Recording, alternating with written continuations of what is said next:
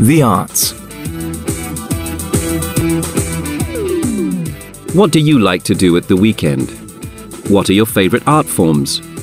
Let's take a look at some great ways to keep yourself entertained. The visual arts, such as painting, sculpture, pottery, photography, and film, are those creations that we can look at. The literary arts are any form of creative writing. This includes novels, short stories, and poems. The performing arts use acting, dancing, or singing. This includes theatre, opera, and even stand up comedy. The arts are important for society as they encourage self expression.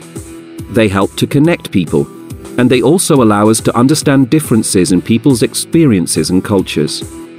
The arts can create awareness of important issues and challenge people's perceptions. They are a great way to start a conversation on topics that might not be spoken about otherwise.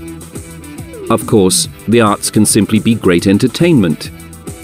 Perhaps all art forms can just be thought of as creations which were made to please the senses.